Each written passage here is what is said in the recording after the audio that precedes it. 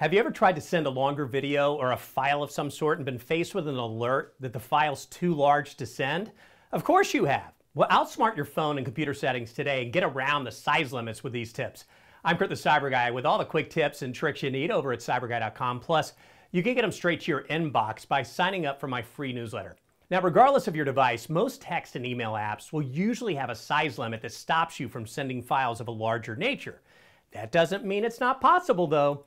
The best way to send large files over Android is using Google Drive. If you don't already have a Google account, you can create one for free, then you can send large attachments using the free Google Drive app. You can upload any photo, video, or file to your Drive by tapping the share icon while you have it open. Then tap Drive. Rename the file if you like, and then tap Save. Then you can open the file on Google Drive. Tap the three vertical dots on the top right.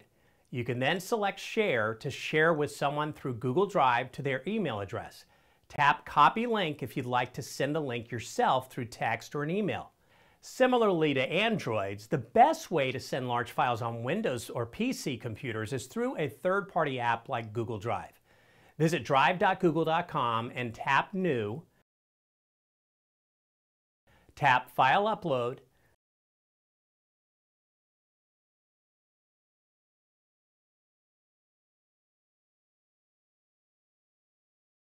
Select your file from within Google Drive, tap the three vertical dots, tap Share to share directly through your email, or tap Get Link to share your own way.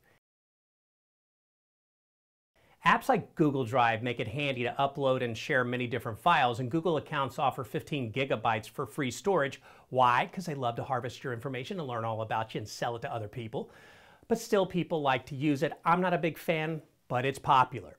Another option is Dropbox, which has 2 gigabytes of free storage to start off with. For more on how to send larger files, head to my site, cyberguy.com slash send large files. And for more tech how-tos, tips, and tricks, why don't you sign up for my free newsletter?